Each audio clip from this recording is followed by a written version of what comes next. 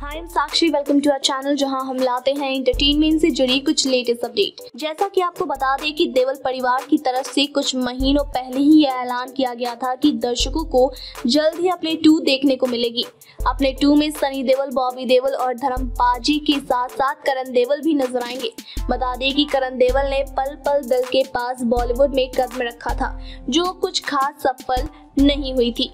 देवल परिवार अपने टू के माध्यम से करण देवल को दोबारा लॉन्च करने की तैयारी में है, जिसके लिए ज़बरदस्त मेहनत चल रही है। दरअसल डायरेक्टर अनिल शर्मा ने कोई मोई डॉट कॉम से बात करते हुए कहा कि फ़िल्म अपने टू के लिए करण देवल ज़बरदस्त तैयारी कर रहे हैं। करण देवल फ़िल्म में एक बॉक्सर का किरदार निभाते दिखेंगे, जिसके लिए वो जमकर पसीना बहा रहे हैं। अनिल शर्मा ने यह खुलासा भी किया कि अपने टू में एक विदेशी बॉक्सर की एंट्री कराई गई है।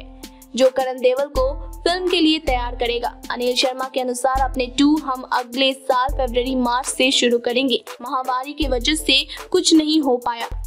सितंबर से हम प्लानिंग शुरू कर देंगे। फ़िल्म की स्क्रिप्ट बहुत अच्छी है। अपने टू लंदन और पंजाब में शूट होगी। एक बार सब चीज़ें हो जाएँ क्योंकि सुरक्षा सबसे ज़्यादा ज़रूरी है। फ़िल्म की शूटिंग में जल्दबाजी करने का क्या फ़ायदा? अभी फ़िल्में रिलीज़ तो हो ही नहीं रही हैं। एक बार सब चीज़ें सामान्य हो जाएँ, फिर शूटिंग शुरू करेंगे। हम बढ़िया फ़िल्म बनाएँगे। ऐसे में आप लोग इस फ़िल्म को देखने के लिए कितने एक्साइटेड हैं, हमें कमेंट बॉक्स में ज़रूर बताएँ। थैंक यू सो मच की watching for more entertainment news and update